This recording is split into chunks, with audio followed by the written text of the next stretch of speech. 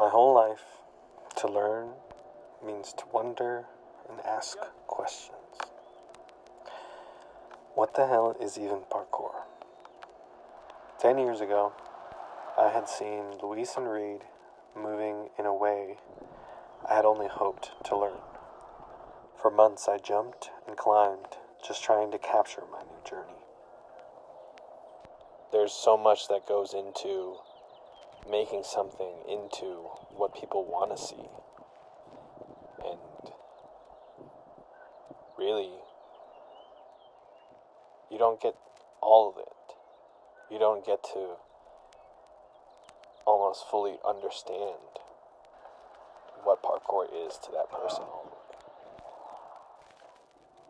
After what feels like a lifetime, I finally feel like I understand progression.